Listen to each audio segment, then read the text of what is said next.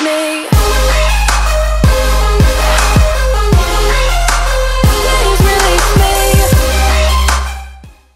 Yo, yo, yo, what's up, guys? PatarHD here, and I'll be bringing a mod. Yes, guys, I have started doing mods, and this is the first mod showcase I'll be doing. It's called More Commands. Some of you guys noticed from, you know, other YouTubers and stuff like that, but I decided to make so, um, you know, some of you guys can see this mod for yourself, and the download link for the mod will be in the description below.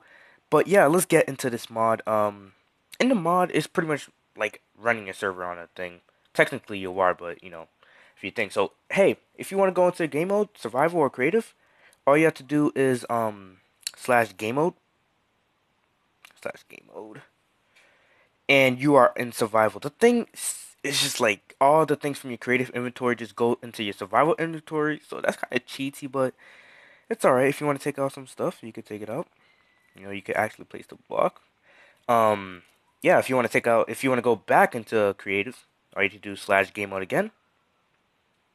Let me just do it. Slash game mode, and you are back into creative. As you see, you have everything in your inventory, and that's just pretty amazing.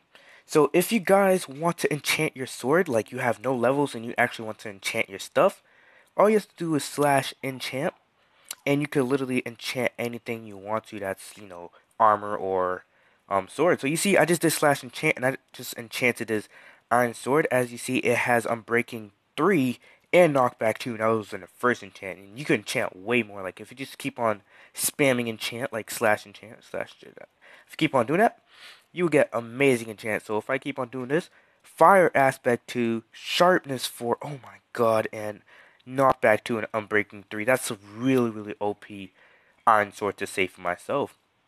If you guys, you know, you want some lightning and you're really mad, or you just want some lightning because you want to see how it is, feel free to just do slash lightning. See slash lightning, and the sky should be getting darker. Yep, it's getting darker. Again, pretty dark. And then you should be seeing lightning any second from now. There we go. There we go. That is lightning for you. Oh, whoa. Okay, I don't think it's a good idea to do it in a village. But, um, yeah, there you go. You just see light. Oh, my God. Yeah, and if you guys want, you know, you want it to rain for your crops, do slash rain. So you do slash rain. And it will just start raining plain and simple.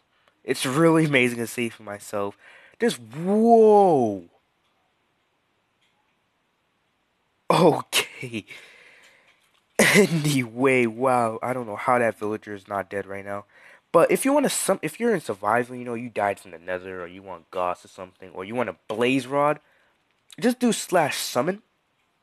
And you can do slash summon blaze. And a blaze will summon right in front of your face, so you can just attack it, you know, you can kill it. Get his blaze rod and you're pretty much set. You can summon anything you want to, just make sure the name is correct. So if you wanna um if you wanna summon a creeper, do slash summon creeper. And it will summon a creeper right in front of your face, which I really, really like. Amazing mod to say for myself, and there's way, way, way, way, way, way more. But if you guys like this video and you want me to do more mods, don't forget to super smash that like button. Let's try to get to 10 likes. And, um, yeah, thank you guys for watching this video. PatarHD here. I will see you guys in the next one. Peace.